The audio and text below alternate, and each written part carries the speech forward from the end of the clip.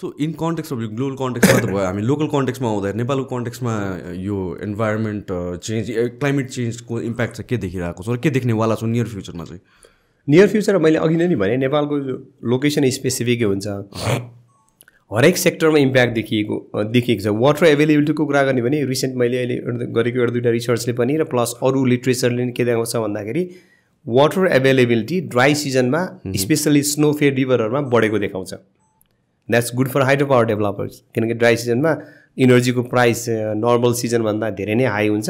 त्यो बेला more energy production पाएछ त सुन्न सुगन्ध भइहाल्यो। द्याट साउन्ड्स भेरी गुड तर त्यो फर्चुन छ नि त्यो fortune will not last for a long time if the temperature will continue to rise at the same rate त्यो हुँदै हुँदै आउँदा मैले अघि भने बिस्तारै हिम पाहाडका मूलहरू सुक्नु थाल्न यदि माथि कम्प्लिटली घट्यो भने तराईमा आउँदा फ्लडिङका कुराहरू आउँछन्। त्यस कारण लोकेसन स्पेसिफिक इम्प्याक्ट हुन्छ त्यो चाहिँ हामीले अगाडि गरेका साइन्टिफिक स्टडीहरूले पनि त्यो प्रोजेक्ट गरेको छ र त्यो चाहिँ ग्लोबल एक्सपिरियन्समा हेर्दा पनि त्यो चाहिँ लाइकली देखिन्छ। तर यहाँ जेनरली हामी यसलाई झुकिने अथवा कन्फ्युज हुने अथवा चाहिँ यसलाई मिसलिड गर्ने कुरो चाहिँ कहाँनिर छ भन्दा हरेक खालको चेन्जलाई चाहिँ क्लाइमेट चेन्ज भनिदिने टेन्डेन्सी चाहिँ बढेको छ। यहाँनिर चाहिँ हामी अवेर हुनुपर्ने कुरा छ। जस्तै कतिपय चेन्ज चाहिँ क्लाइमेटको कारणले नभएर चाहिँ नन क्लाइमेटिक चेन्ज चाहिँ डोमिनेन्ट भएर चाहिँ चेन्ज भएर हुनसक्छ। इभन क्लाइमेट चेन्जको कन्ट्रिब्युसन जिरो पर्सेन्टेज हुनु पनि सक्छ। फर इक्जाम्पल फर इक्जाम्पल स्प्रिङहरू ड्राई भइरहेछ नि। विभिन्न मिड हिल्समा अब माउन्टेन भनौँ न स्नोहरू भएको वाटर सेडमा त्योभन्दा तल स्नो टन्न हुँदा हुँदै स्प्रिङ ड्राई हुने भनेको चाहिँ त्यो क्लाइमेट चेन्जसँग जोड्न सकिँदैन भन्ने मन लाग्छ। Large majority of the mid हिल्समा भएको अहिले मूलहरू सुकेका केसहरू छ नि त्यो चाहिँ यो डोजर लेट डेभलप हुन्छ डोजरलाई पोजिटिभ युज गर्दा पोजिटिभ गर्छ कहिले काहीँ डोजर आतङ्क भन्ने गरिन्छ होइन?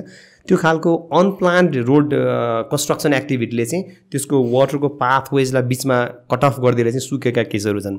अब टेम्परेचरको डेटासँग हेऱ्यो र मूल सुकेको त्यो ट्रेन हेऱ्यो भने त त्यो कुनै रिलेसन त देखिएन। एकजनाले भन्नुहुन्थ्यो क्या एउटा जोक एकजना मेडिसिनको विद्यार्थी रे अनि एकजना मान्छे मरेछन् रे हस्पिटलको बेडमा अनि उसलाई रिसर्च गर्नु मन लाग्यो अरे।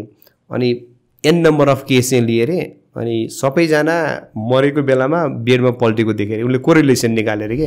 कन्क्लुजन के निकाल्यो भन्दा बेडमा पल्ट्यो भने मान्छे मर्दो रहेछ भन्ने निकाल्यो नि त्यस कारणले क्लाइमेट चेन्ज भएको रेनफलको प्याटर्न चेन्ज भएको टेम्परेचर इन्क्रिज भएकोलाई मुलो भएको पानीको डिस्चार्ज कोरिलेसन गऱ्यो भने केही रिलेसन त आउला। तर that doesn't have any link to climate change यदि मैले ऐन भनेको कन्टेक्स हो भने। Correlation doesn't mean causation exactly त्यस कारण कहिलेकाहीँ हरेक चिजलाई क्लाइमेट चेन्जसँग जोड्ने टेन्डेन्सीमा चाहिँ हामीले कसस हुनुपर्छ। तर क्लाइमेट चेन्जको इम्प्याक्ट चाहिँ लोकेसन स्पेसिफिक र विभिन्न खालका नभएको चाहिँ होइन। म त्यो कुरा चाहिँ एकदमै कसस हुनुपर्ने छ मैले अहिले मूलको भने त्यहाँ there could many other examples as well